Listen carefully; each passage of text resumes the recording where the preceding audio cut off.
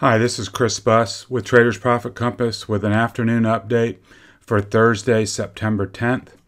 It's exactly 1:45 as I'm starting the video. Okay, let's go through this. Um, I can't impress upon you guys enough what a critical spot we're at. I mean, there's a huge difference between looking for long setups buy the dip or are we going to break down and take a leg lower? I mean, it's just that simple. So I've been hyper focused on the indexes and FANG. I I really believe that they hold the key to everything, at least here in the next, you know, week to 10 days, if not longer. So let's take a look at it. Uh, we came up this morning to this 342 level on SPY. We touched it several times. And if you go to lower time frames, you'll see that we uh, tagged that level twice yesterday. An initial tag, reaction back, came up again, sold into the close. This morning, gap up, uh, hung out there for about an hour could not get through. And then they took it down to the bottom of the box, and we've been bouncing right along the bottom for the last couple of hours, three hours, something like that. And you can always tell when a line is really important when nobody wants to make that first move. Are the are they going to save it, run it up this afternoon, or is it going to fail? And then we drop down below this 338 uh, on the lower half of this recent trading range and push down towards this 333 level. So i'm watching that really really carefully. Uh, we're we're hanging by a thread as i speak right now at a quarter uh, quarter to two. And as it happens most times it's going to be how the pros close it you know, between 2:30 and 4 as to where we'll stand at the end of the day. Uh, I want you to take note up here. We did have a bearish PPO cross, and in my experience, when you get a rise after a sell off and you get that PPO rise up to the zero line and then it rolls over, it's usually a very bearish sign. Uh, now, that doesn't mean they can't just dip down below here and then run it up. That can happen. I've seen that happen. But if this were to drop below 338 this afternoon and move towards the lows, this is going to have a much more pronounced rollover. And this RSI will have a much more pronounced bearish look than it does right now. Uh, certainly savable here. They certainly can, you know, use that as support and gun it up. We'll just have to wait and see. Qs. Now, same thing. Uh, bearish PPO cross, not quite as pronounced as SPY, and RSI dipping back down below 50. Uh, this morning, you guys know that I was short and I had set 280 as a stop. And basically, what we had here was a prairie dog. You know, it pops its head up and then it goes back down. Well, I closed my positions like I said I would on a move above 280 and then on a move back below, back into the trading range I got short again. So I'm sitting short. My size is not as big as it was yesterday, but I'm back short again. And really, if you want a trading tip, if you're trading the Qs, look at SPY. It's something I was watching, but I didn't. Uh, you know, I thought I thought the Qs were going to lead, and I thought Spy was going to break out. That's where that was that was my thought process. But Spy didn't break out, and whenever you're you know, you're trading one or the other, if you think there's a breakout, the other one can hold it up. SPY could not get through 342. It, it tried multiple times, it could not get through. And at the end of the day, SPY led to the downside. Now, this is a live chart, so you can see that that price has moved back down below this 277.50. I truly believe that 275 is the real line. If this afternoon, you know, we come down here and break 275, then I think we come down to this 270 for another test of the 50. They can certainly save it here, pop it back above, you know, 277.50, or they can come down to 275 and hold the line and, and bounce it. We'll just have to see. But the FANG names are very weak. So we'll get into that uh, in a minute. But as it stands now, it looks bearish. Certainly savable, but it's doing what we thought it would do is come up, find resistance, and roll over. There may still be a leg up. We don't know. But at this point, I mean, you've got to say that, you know, it, it reached a peak and has rolled over. Now we'll see how far it goes. IWM, uh, I haven't been paying that much attention to. It's not really doing anything. But here again, it came up to this 154 and got rejected. That was a level that we had identified. Um, I'm sure that's, you know, kind of been a frustrating trade if you were in it and it was up and then, you know, then it got rejected. If SPY and the Qs roll over, this is coming down. It may not come down as fast or as quick or as far, but it's coming down. And for me, the key level is 150. If that breaks, then I think you got 250. Uh, not in the bag, but that would be my target, uh, 147.50. I thought this is very interesting. This is my extremo meter, put to call ratio they're buying calls. People are buying are trying to buy this dip and and they think that this is a place to pile in. Okay, you can see anything above the red line is basically excessive call buying. Nobody buying puts, everybody's buying calls. And I think at this juncture, you know what my thought process is is that this is the time these people get run over. Time will tell. That's the way I'm looking at it right now. Um, the buy the dip moment is when there's a flush and you see put buying extremes down here at the lows.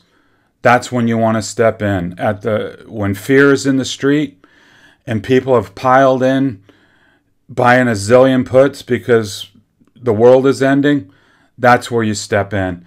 And if you go back and look at this chart, you can see that this meter does a great job at nailing lows. It's not that good at nailing highs.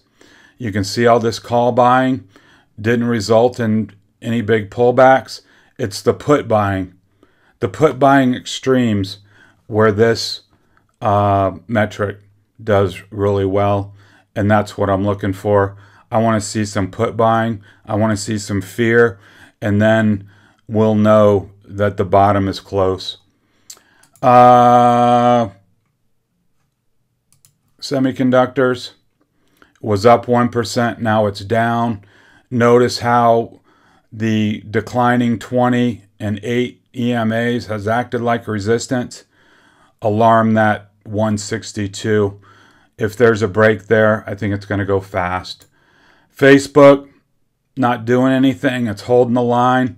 Um, it went up for a couple of uh, touches here this morning at 278.75, got rejected, but it is holding support uh, all things said and done, uh, it's uh, holding the line here at 273. Apple not doing so good. Uh, just a minute ago when I started the uh, video, it had broken the day low. Now it's testing uh, this gap up from yesterday. If this uh, 115 breaks, I think you see 112.50 pretty fast. So we'll see. This is a this is a critical spot for Apple here at uh, 115. Uh, pretty weak. Amazon again, you know, went up and and touched uh, this morning. This uh, uh, 33, 35 level got rejected and is now down at this 3250 level, critical level. If the Qs are going to break. It's going to take Apple and Amazon and these other names to break lower from these from these key levels. I think if you see 3250 go, I think you got 3200 as a target and then uh, 3150. So there's potentially $100 of, of um, downside right here on a break of uh, 3250 the Bulls are going to have to uh, step in here right at this moment to uh, prevent this from, you know, moving down. Microsoft has been weak all day. We had identified this 215 area, tagged it twice this morning. Now it's $7 below. It, you know, we're down at 208. We opened up at 215 that would have been a great trade to take. Might have been a hard one to take, but it was at resistance and now it's dropped down below. I don't have the opening gap from in here marked, but you can see it's right here at this uh, 207 level. If that were to break, we're coming back down in this 204 area. You can see the PPO never made it up to zero it's rolling over well below. And if this crosses over,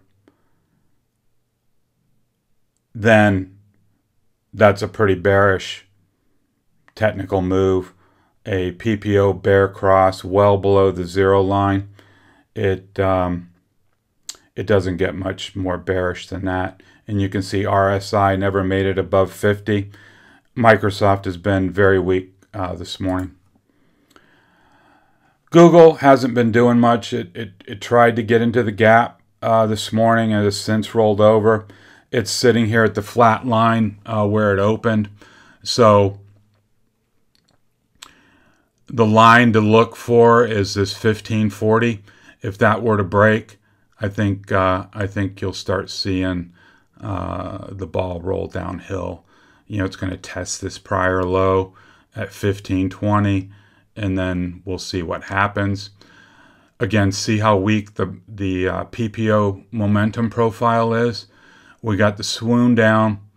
We got a very feeble bounce, and now it's flattening out and threatening to roll over. Same thing with RSI. It never even got to 40 uh, here, and now it's uh, rolling over. Netflix,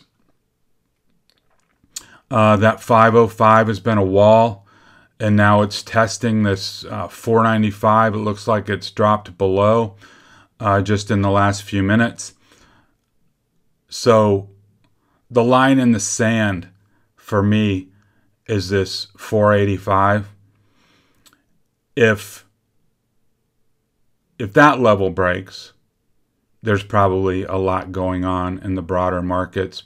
I would expect this level to hold if the market holds and if it doesn't, then I think you've got, you know, a high probability short there if uh, this 485 fails.